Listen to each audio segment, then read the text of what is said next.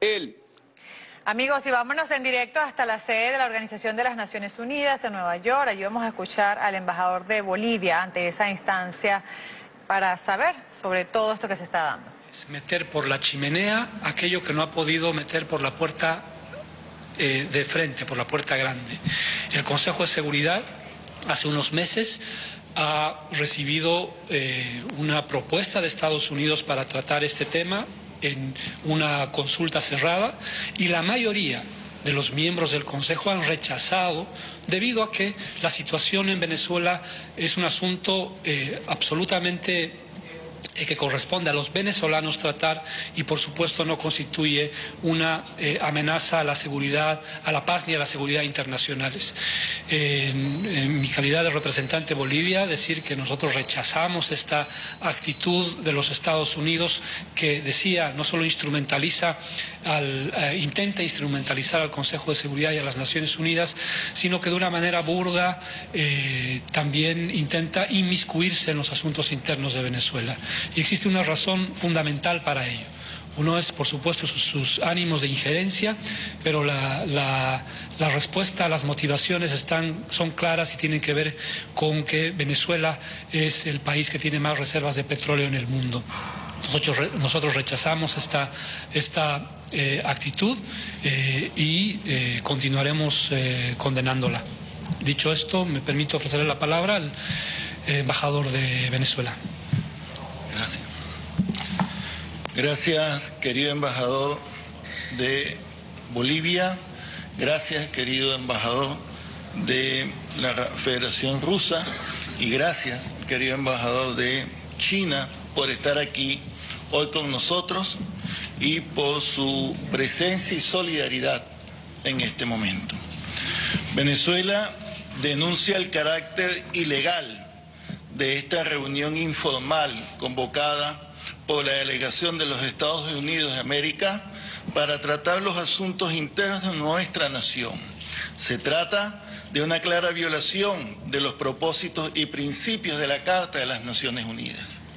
Es una mentira de los Estados Unidos cuando se hace creer al mundo y en particular se intenta hacer creer a los venezolanos que el Consejo de Seguridad está tratando el tema de Venezuela. La reunión que está teniendo lugar en este momento en las Naciones Unidas es parte de la agenda política de la misión de los Estados Unidos, que por cierto tiene mucho de agenda personal de esta misión. En esta reunión, esta fase que ha convocado los Estados Unidos, como pueden observar, están ausentes países claves del Consejo de Seguridad, tal como la Federación Rusa, China, Bolivia y Egipto. Y son escasos los embajadores del Consejo de Seguridad que han acudido a esta convocatoria porque entienden que Venezuela no forma parte de la agenda del Consejo de Seguridad, ya que no representa una amenaza a la paz ni a la seguridad internacional. Esta reunión esta farsa de hoy es un acto hostil de los Estados Unidos y a todas luces un acto injerencista que vulnera el principio de soberanía de un Estado miembro de las Naciones Unidas. Estados Unidos ha desatado una campaña sistemática contra nuestro país, la cual incluye medidas coercitivas, unilaterales e ilegales contra funcionarios gubernamentales y contra nuestra economía nacional en detrimento de todo el pueblo venezolano.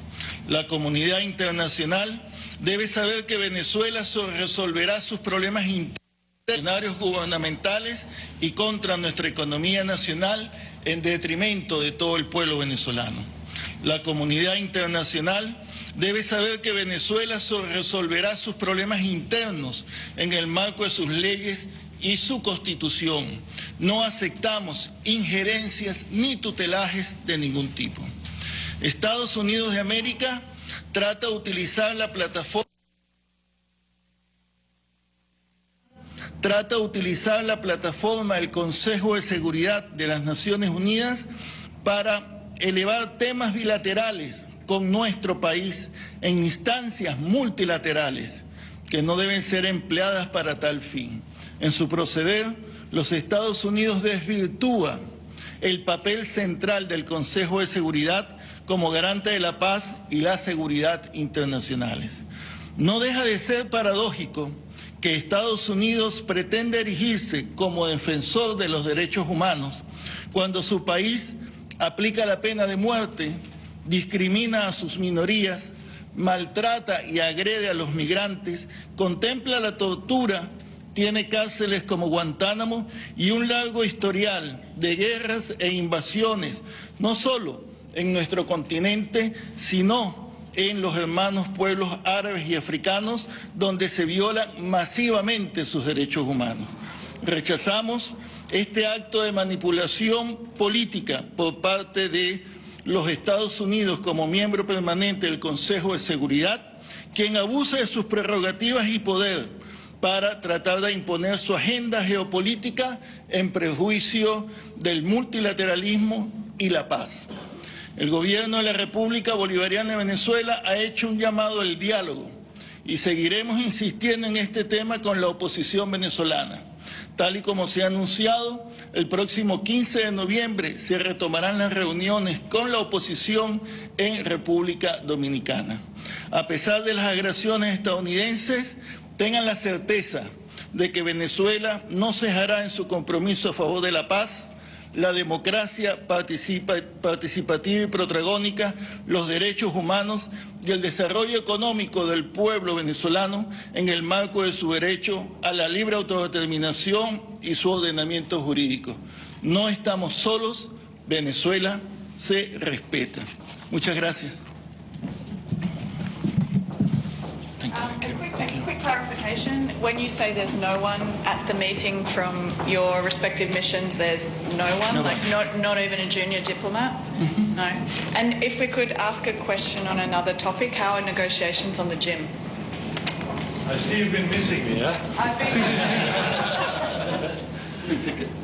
Thank you. Can we get a quick, quick remark on that? We had a